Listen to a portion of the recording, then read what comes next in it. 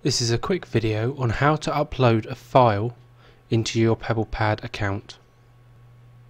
Inside PebblePad you need to go to Add New and File. You need to give the file a title, a description,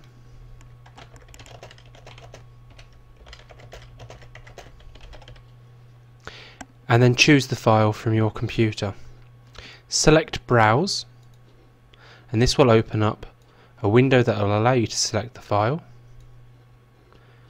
Find your file on your computer and click Open. You need to state that you are entitled to upload this file and then save and upload. This file will now be processed. Larger files can take up to half an hour. You can close this window and come back to it later. To do that, open up your asset store and double click your asset. You can now see this file has been processed and is ready. If you wish to edit any of the details, you can click the pencil mark at the top. Remember, you can tag your asset to make it easier to find later on.